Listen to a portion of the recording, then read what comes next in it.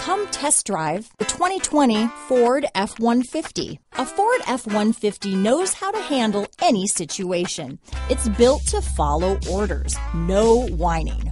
Is love at first sight really possible? Let us know when you stop in.